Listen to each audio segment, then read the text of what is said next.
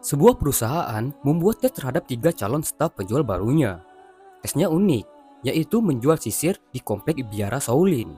Tentu saja ini cukup unik karena para biksu di sana semuanya gundul dan tidak butuh sisir.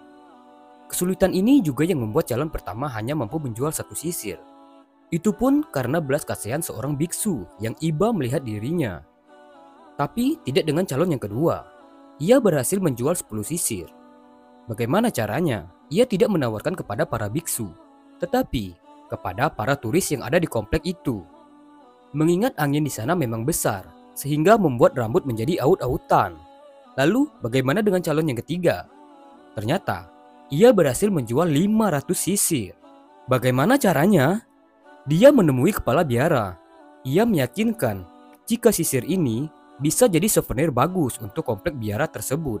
Kepala biara bisa menambahkan tanda tangan di atas sisir-sisir tersebut dan menjadikannya souvenir para turis. Sang kepala biara pun sangat setuju dengan ide cemerlang ini